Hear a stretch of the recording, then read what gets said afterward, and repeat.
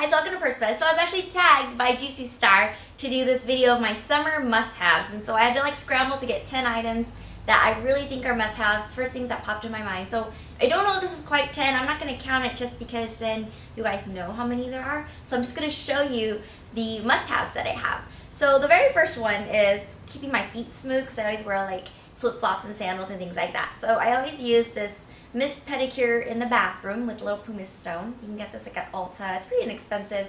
And it comes with like a cute kit sometimes too. So I like to use this. And I won't ever do a demonstration on how that works.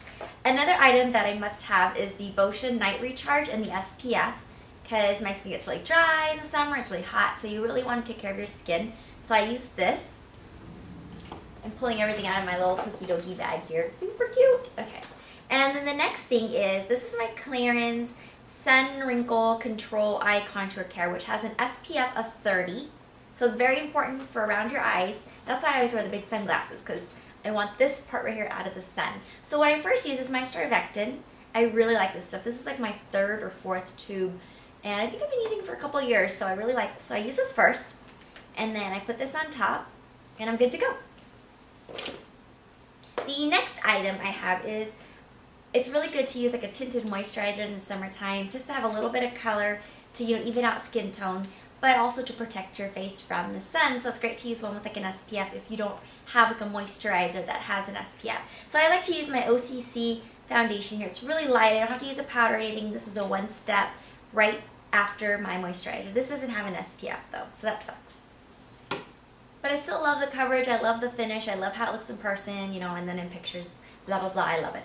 All right, so the next thing I have here is my, this is my Clinique. It has the SPF of 45. So I always carry this in my purse just in case, depending on where I'm going, we might just go like a trip to the beach or outside somewhere. So I could put this all over my face, around my eyes, on my lips, or wherever I need to. And it's like a, a little bit of a gel here. It's not for everybody. I like because it has a high SPF.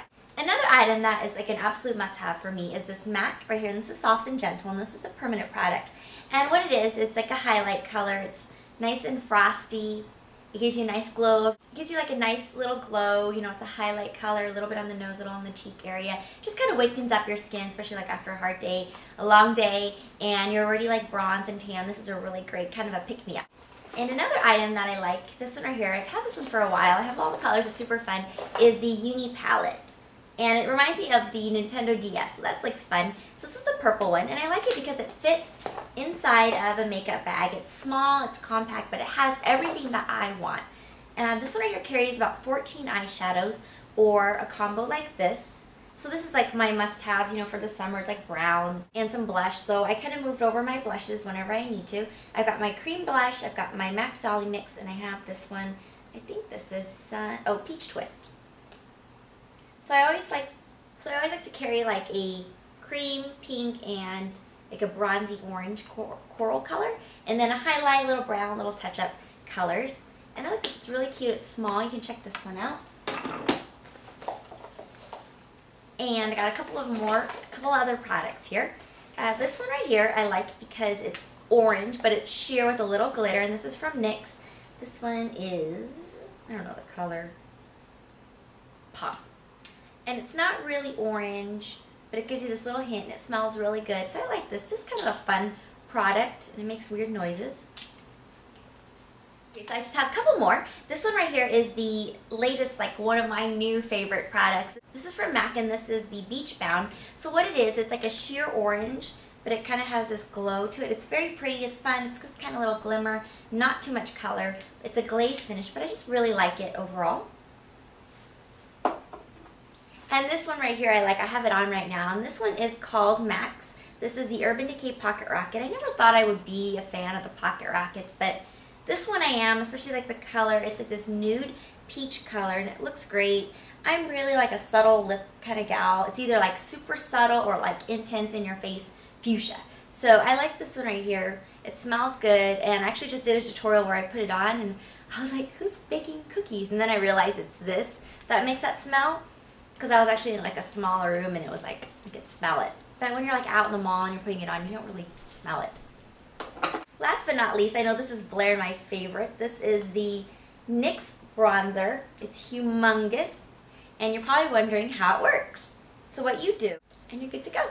So one day, maybe maybe one day I'll do a tutorial. Maybe Blair and I will do a tutorial together. We'll see. Hmm. All right, so those are my top summer picks. There's lots more to pick from, but those are my like top of my head things that I know that I'll be using a lot this summer, things that I have been using a lot in the past.